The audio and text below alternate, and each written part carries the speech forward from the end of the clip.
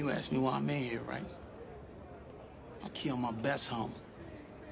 Now my people on the outside, and know your family stay off of Western 48th. Your grandma, mama, little baby sister. About this hot, right? Any of y'all little niggas step to me again, and I'll kill all your fucking families. you know I mean business.